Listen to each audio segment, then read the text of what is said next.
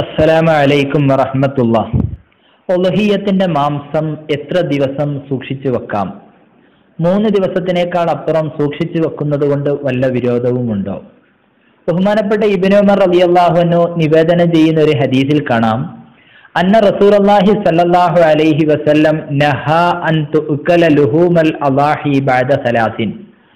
മൂന്ന് ദിവസത്തിലപ്പുറം ഒലഹിയത്തിന്റെ മാംസം ഭക്ഷിക്കുന്നതിന് ബിസല്ലാഹു അലഹി അലൈഹി വസല്ലമ തങ്ങൾ നിരോധിച്ചിട്ടുണ്ട് എന്ന് ഇബിനുമർ തങ്ങൾ റിപ്പോർട്ട് ചെയ്ത ഹദീസിൽ കാണാം.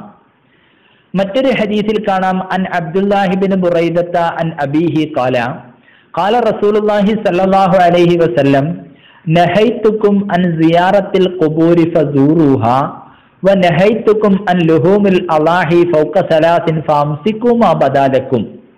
ഖബറുകൾ സന്ദർശിക്കുന്നത് നിങ്ങൾക്ക് ഞാൻ വിലക്കിയിരുന്നു. ഇനി മുതൽ നിങ്ങൾ ഖബറുകൾ സന്ദർശിക്കുവീൻ.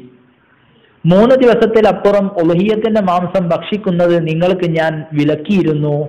ഇനി മുതൽ നിങ്ങൾ ഉദ്ദേശിക്കുന്നത്രയും നിങ്ങൾ പിടിച്ചു വെക്കുവീൻ. അതായത് ഭക്ഷിക്കാം എത്ര ദിവസം വേണമെങ്കിലും സൂക്ഷിക്കാം എന്നും മറ്റൊരു ഹദീസിലും കാണാം. മുസ്ലിമിന്റെ തന്നെ ഇമാം മുസ്ലിം റലി എന്ന് റിപ്പോർട്ട് ചെയ്ത ഒരു ഹദീസിൽ കാണാം.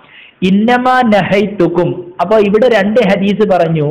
ഒന്നാമത്തെ ഹദീസിൽ പറഞ്ഞത് മൂന്ന് ദിവസത്തിനേക്കാൾ അപ്പുറം ഒലുഹിയത്തിന്റെ മാംസം ഭക്ഷിക്കുന്നത് നബിതങ്ങൾ നിരോധിച്ചു എന്നും രണ്ടാമത്തെ ഹദീസിൽ നിങ്ങൾ ഇനി മുതൽ അതായത് കബർ സന്ദർശിക്കുന്നത് നിങ്ങളെ ഞാൻ വിലക്കിയിരുന്നു ഇനി മുതൽ നിങ്ങൾ കബറുകൾ സന്ദർശിക്കുവീൻ. അതേ പ്രകാരം മൂന്ന് ദിവസത്തിലപ്പുറം ഒലഹിയത്തിന്റെ മാംസം ഭക്ഷിക്കുന്നത് നിങ്ങൾക്ക് ഞാൻ വിലക്കിയിരുന്നു. ഇനി മുതൽ നിങ്ങൾ ഭക്ഷി ഉദ്ദേശിക്കുന്നത്രയും പിടിച്ചു വെച്ചോളി അതിന് കുഴപ്പമൊന്നുമില്ല.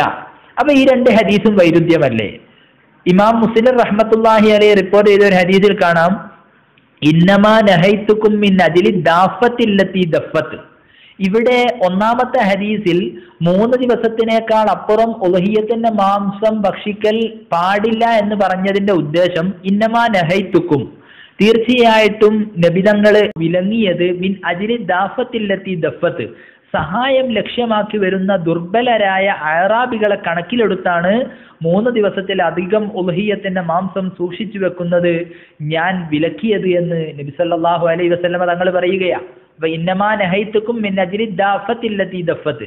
ചോദിച്ചു വരുന്ന ആളുകൾ ഒന്നുമില്ലാത്ത ആളുകളാണ് ദുർബലരായ ആളുകളാണ്. അവർ ചോദിച്ചു വരുമ്പോൾ അവർക്ക് കൊടുക്കാതിരിക്കും. അത് തടയാൻ വേണ്ടിയാണ് അങ്ങനെ പറഞ്ഞത്.